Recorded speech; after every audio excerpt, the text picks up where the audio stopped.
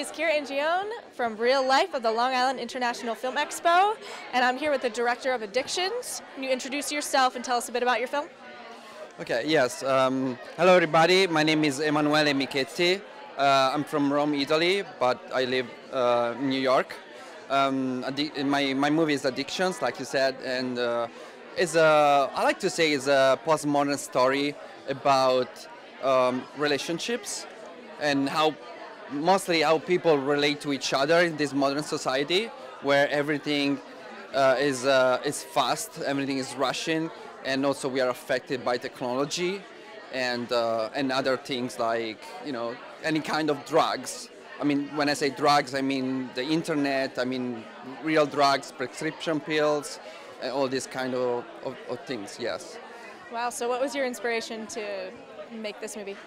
Oh, my inspiration. Uh, my inspiration is uh, okay. Yes, uh, is uh, I, I, okay. I got inspired mainly by uh, philosophical theories by uh, Martin Heidegger. That is a is a German philosopher, but also is is my experience in New York. I mean, I've been living here for now for four five years, so when I moved here, even if I'm, I'm from Rome, that is a multicultural city, it's a big city, so somehow it's similar.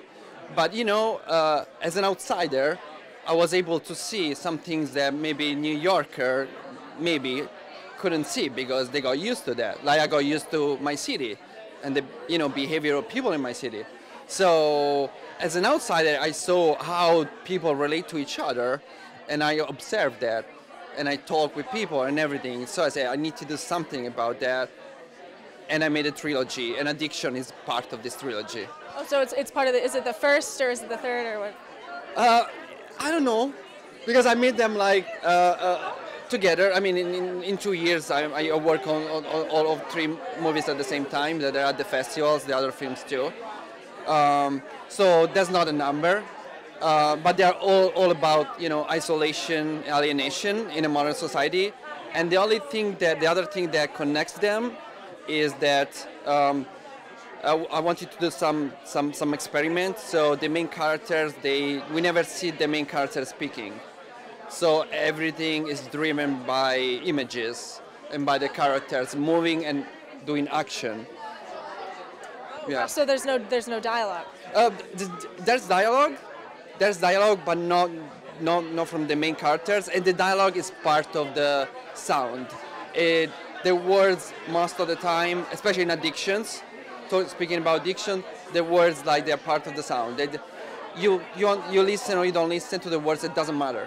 They don't drive the story, it's really no, what's happening. absolutely don't drive the story because I wanted to, uh, how to say in English, I wanted to emphasize the, the isolation of the characters. So, so like without communicate verbally communicating with the external world, you know, maybe you know I can show their isolation like that's stronger, like in a stronger way. Yeah, that sounds like it's really powerful. I don't know. We'll see. Is this your first time showing this one?